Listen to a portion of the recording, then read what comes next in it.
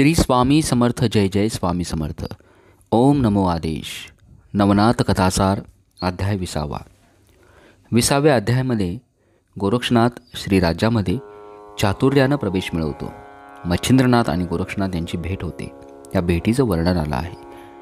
या अध्यायाचं नित्यपठन केलं असता प्रापंचिक अडचणींचं निवारण होऊन प्रपंच व्यवस्थित सुरू राहील.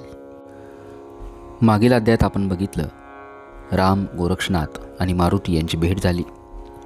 मारुतीनं लहान रूप धारण केलं आणि तो शृंग मुरडात जाऊन गुप्तपणे राजवाड्यात गेला. तेव्हा राणी पद्मिनी म्हणजेच मैनाकिनी श्रीराज्यामध्ये आपल्या आसनावर स्वस्थपणे निजली होती. तिच्याजवळ दासी वगैरे कोणी नाही अशी संधी साधून मारुती तिच्या महालात जाऊन आसनावर बसला. त्यानं राणीचा हात धरला. ती जागी झाली. उठताच तिला मारुती दिसला. ती त्याच्या पाया पडली. त्या राणीला तिलोत्तमा मैनाकिनी पद्मिनी अशी तीन नावे होती. ही तीन नावं पडण्याचं कारण असं सिंहल द्वीपांमध्ये ही राणी फारच सुंदर स्त्रीरूपात होती. तिनं सगळ्यांना सौंदर्यामध्ये मागे टाकलं होतं. एक दिवस ती आकाशाकडे बघत होती. त्यावेळी वसू विमानात बसून चालले होते. त्यांच्याकडे बघून ती हसली. त्यामुळं त्यांना अतिशय राग आला. ते म्हणाले माझ्याबद्दल तुझ्या मनात प्रेमभावना उत्पन्न झाली आहे म्हणून तुला हसू आले. तू व्याभिचारी आहेस. सर्व वसूंमध्ये मी श्रेष्ठ आणि तपस्वी आहे. माझी अभिलेषा धरून तू हसलीस तर तुला मी शाप देतो. तुझी श्री राज्यामध्ये वस्ती होईल ज्या ठिकाणी पुरुष नावाला सुद्धा नसेल. असा शाप ऐकताच ती त्यांच्या पाया पडली. म्हणाली महाराज अपराध झाला. याचा परिणाम आता मला जे भोगायचे ते मी भोगेलच परंतु उशाप देऊन आपल्या चरणाजवळ मला जागा द्या. तिनं मनभावी केलेली प्रार्थना ऐकून वसू म्हणाले हे पद्मिनी हल्ली श्रीराज्यामध्ये राज्यपदावर तिलोत्तमा बसली आहे. ती मेल्यानंतर तू राज्यपदावर बसशील. आता माझ्या ठिकाणी तुझं मन गुंतलं आहे तर माझा पुत्र मच्छिंद्रनाथ हा तुझ्याशी रममान होईल. त्याच्यापासून तुला मीननाथ नावाचा एक पुत्र झाल्यानंतर मच्छिंद्रनाथ तुझ्यापासून दूर जाईल आणि मग तूही स्वर्गात येऊन भोग भोगशील. हे ऐकताच मैनाकिनीने विचारले त्या ठिकाणी एकही पुरुष नसताना मला पुत्र कसा होणार? हे ऐकून तो म्हणाला वायूचा पुत्र मारुती हा उद्वर येत आहे. त्याच्या भुबक्काराच्या योगानं स्त्रियांना गर्भधारणा होते. पुरुष गर्भ गळून जातो स्त्री गर्भ वाढतो. अशा तऱ्हेनं वसून ही माहिती मैनाकिनीला सांगितल्यानंतर मग मैनाकिनीनं वसूला विचारलं मच्छिंद्रनाथ आणि माझी भेट कधी होणार केव्हा होणार? आणि पुरुष जर मरण पावतात मच्छिंद्रनाथ कसा तिथे येऊ शकेल? ही शंका ऐकून वसू म्हणाले तू आता तप करून मारुतीची आराधना कर म्हणजे तो तुला प्रसन्न होऊन वरदान देईल. आणि त्यावेळेस तू त्याला मागून घे. तो येऊ शकणार नाही मग तो मच्छिंद्रनाथाला घेऊन येईल. अशा तऱ्हेने आपला कार्यभाग साधून घे. यानंतर मैनाकिनी श्रीराज्यातील शृंगमुरुड नावाच्या शहरात गेली. तिथे एका चांभाराच्या घरी जाऊन ओटीवर बसली. तिला असं बसलेलं बघून घरधनीन तिची चौकशी करू लागली. तेव्हा तिनं आपली मूळ कथा सांगितली आणि सांगितलं की मी सिंहल द्वीपात राहत होते. परंतु उपरीक्ष वसूंच्या शापामुळं या शहरात आले. आता मी इथे काय करणार हे मला समजत नाही. तेव्हा चांभारीन म्हणाली उगाच चिंता करू नको. तू माझ्या मुलीसारखी आहे. येथे खुशाल राहा आणि आपल्या हातानं स्वयंपाक करून जेवत जा. सांभारणीचं हे बोलणं तिला खूप छान वाटलं आणि मग ती राहू लागली. दोघींचा स्वयंपाक करू लागल्यामुळं सांभाळणीचं काम कमी झालं. अशा तऱ्हेने मैनाकिनी आनंदाने तेथे राहत होती. एके दिवशी तिलोत्तमा राणीनं प्रधान वगैरे सर्व दरबारातील स्त्रियांना सांगितले आता मी म्हातारी झाली आहे. त्यामुळं माझा नेम नाही. त्यामुळं या स्त्री राज्यपदावर माझ्यानंतर कोणाची तरी नेमणूक केली पाहिजे. तेव्हा मंत्रिमंडळानं असा प्रस्ताव मांडला. हत्तीच्या सोंडेत माळ देऊन त्याला नगरात पाठवावे आणि तो जिच्या गाळ्यामध्ये माळ घालेल तिला राजपदावर बसवावे. मंत्रिमंडळानं सुचवलेली युक्ती राणीने लगेच मान्य केली. एक चांगला मुहूर्त बघून हत्तीच्या तोंडात माळ देऊन त्याला ठरल्याप्रमाणे नगरात पाठवले. हत्तीनं मैनाकिनीच्या गळ्यात माळ घातली. तेव्हा मोठ्या समारंभानं तिला सिंहासनावर बसवलं. मैनाकिनी श्रीराज्याची राणी झाल्यानंतर तिने मोठे मोठे तप केले आणि मारुतीला प्रसन्न करून घेतले. आणि तिची निष्ठा बघून मारुती देखील प्रसन्न झाला.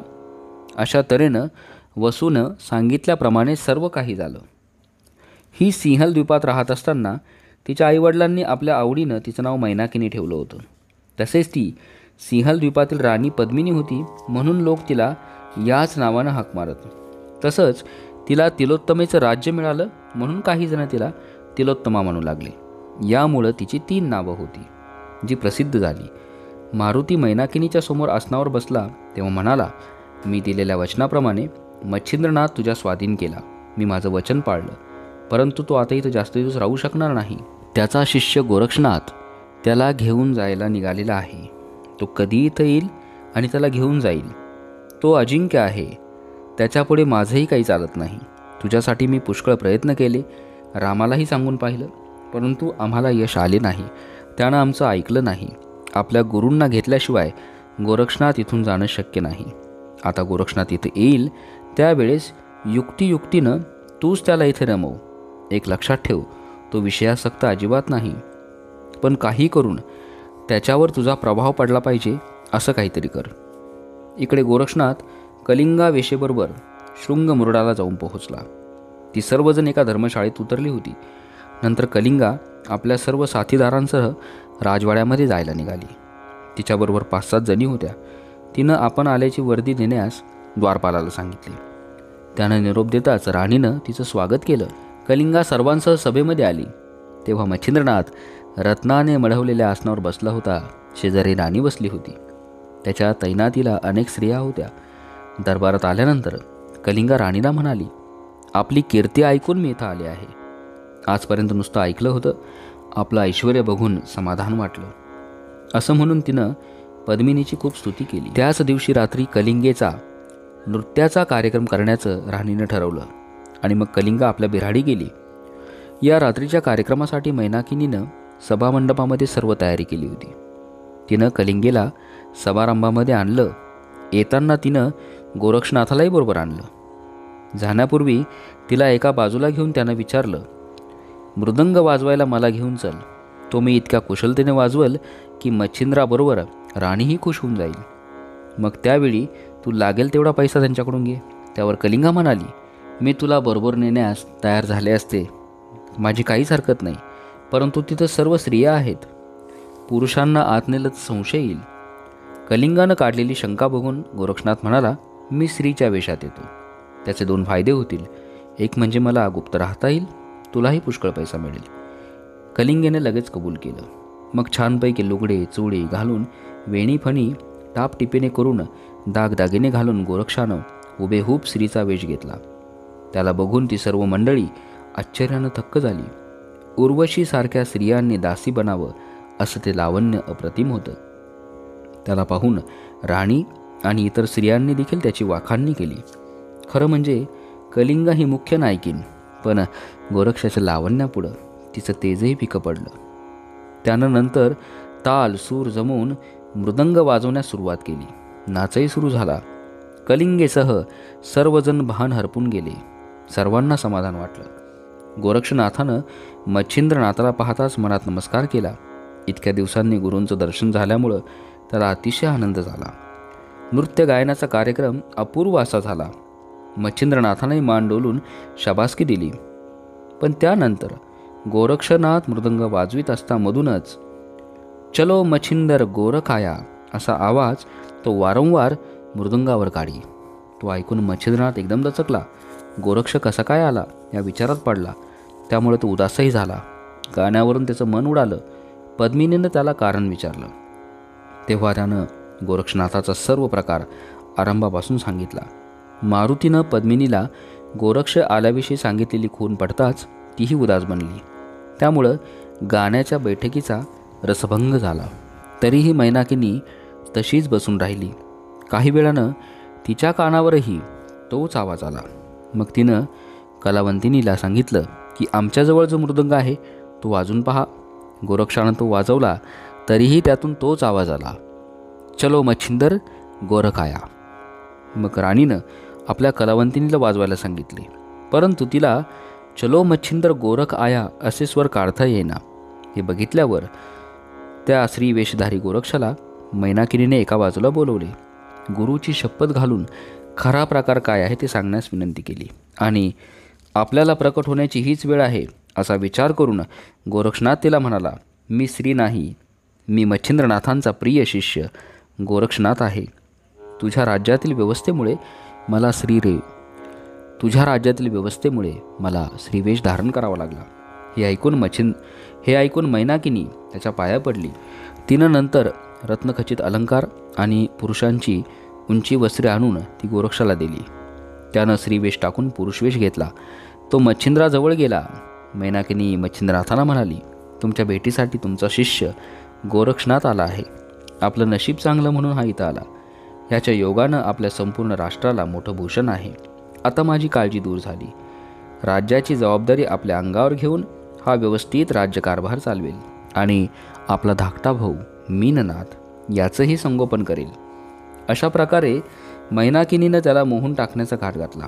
परंतु गोरक्षनाथाला हसू आलं. तो म्हणाला आम्ही शुद्ध वैष्णवी लोक. आम्हाला हे भूषण काय कामाचं? विधवेला कुंकवाची उठाठेव कशासाठी पाहिजे? परंतु असं जरी असलं तरी मच्छिंद्रनाथ त्याच्या स्वाधीन होईपर्यंत पद्मिनी जसं सांगेल तसं वागण्याचा बेत त्यानं केला. नंतर गुरुशिष्य कडकडून भेटले. कलिंगा नायकिनीस पुष्कळ द्रव्य देऊन निरोप दिला. मच्छिंद्रनाथाने आपल्या शिष्याचं कुशल विचारलं आणि आपलीही संपूर्ण हकीकत त्याला सांगितली. गोरक्षनाथ म्हणाला तुम्हाला सोडून मी एकटा कधीही राहणार नाही. मच्छिंद्रनाथानं त्याची खूप समजूत घालण्याचा प्रयत्न केला. तो म्हणाला तुझ्याविषयी मी एकसारखा विचार करत आहे. पण करू काय? घडू नये ते घडलं. मला मारुतीनं गुंतून इथं आणलं. आणि मलाही खरोखर तुझ्याशिवाय करमत नव्हतं. अशा प्रकारे गुरु शिष्याची समजूत काढू लागला. तेव्हा गोरक्षनाथ म्हणाला तुमचे अनेक शिष्य आहेत आणि पुढेही तुम्ही जिथं जाल तिथं अनेक शिष्य निर्माण कराल. पण यामुळे तुमची माया ही सर्वांमध्ये वाटली जाईल. पण मला मात्र गुरु म्हणून तुम्ही एकटेच आहात. माझं सर्वस्व तुम्ही आहात. जसं माशांना पाण्याशिवाय गती नाही त्याप्रमाणे माझं सर्व काही तुम्हीच असं बोलता बोलता गोरक्षाच्या डोळ्यातून अश्रुधारा वाहत होत्या. मच्छिंद्रनाथानं त्याला पुष्कळ बोध करून त्याचं समाधान केलं. दोघांनी प्रेमानं पुष्कळ वेळ गप्पा मारल्या आणि एकाच ठिकाणी झोपलेही. दुसऱ्या दिवशी सकाळी नित्यकर्म आटोपल्यानंतर एका मांडीवर गोरक्ष दुसऱ्या मांडीवर मीननाथ यांना घेऊन मच्छिंद्रनाथ रत्नखचित सिंहासनावर बसून गप्पा करू लागले. श्री स्वामी समर्थ श्री गुरुदेव दत्त ओम नमो आदेश.